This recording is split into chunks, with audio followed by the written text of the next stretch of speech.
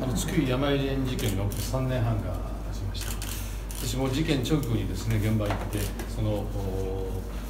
あそこの利用者の皆さんを一生懸命守る職員の姿を見てですねあ頑張ってんだなと思って本当にあの感動したことをよく覚えてます。その後も基本的にはしっかりやってくださっているとは思うんですが、えー、その共同会のですね、えー、現役の理事アイナ山入園の元園長が子どもに対する強制性交罪ということで逮捕されるという信じられないような事件が起きたわけですね。そして、えー、このそもそもそういう共同会、えー、あり方そのものに対してもともとその元職員がああいう犯行を起こしたといったことも含めていろんな声が出てまいりました。そして私のもとにですねそのかつての共同会のその実はサービスといったもの。実は非常に問題があったというさまざまな指摘がですね一気に噴き出してまいりました、えーまあ、我々はこの津久井山井園と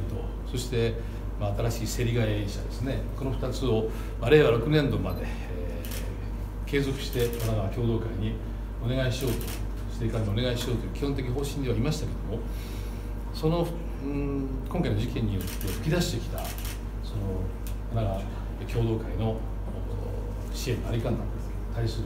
その盛り上がりというものはもうとてもとてもこうすることができないのが大きくなってまいりました、まあ、かつてこういった問題については報道等でもですね映像も通じて伝えたことはあったんですがやっぱりこの一つのきっかけとなって吹き出してきたというのが正直なところでそんな中で、えー、年が明けると裁判が始まります。裁判の過程で、えー、いろんなことがまた出てくるかもしれないですね、えー、それともにあの、まあ、この事件をきっかけとしてですね、えー、県議会の方からもこの共同会の指定管理継続それはどうなんだろうかと。そういう示唆するような見直しを求めるような、えー意見が出てまいりました、まあ、こういったことを含めて考える。それともに、うん、こういったことを長引かせるとですね令和3年度にの皆さんを引っ越ししていただくという基本的なお約束がありますけ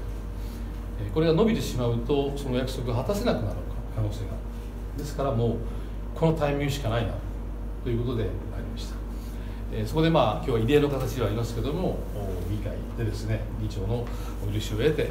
私から発言させていただいたということで